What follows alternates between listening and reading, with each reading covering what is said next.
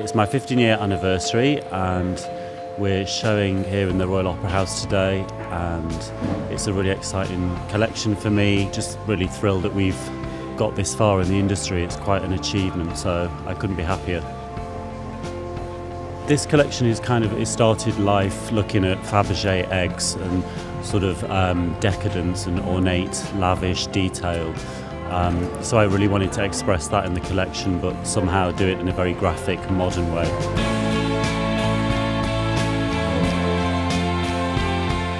This season we're working with Toni and Guy, and I'm thrilled to work with them. It's our second season working together.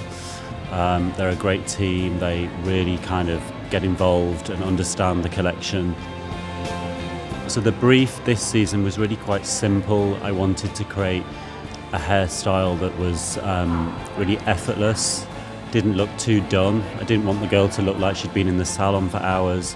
So essentially it's a ponytail, like a low ponytail, but it's beautifully sort of tousled and it has a sort of softness um, and a sort of side parting, a bit of del delicate, delicate edges to the face.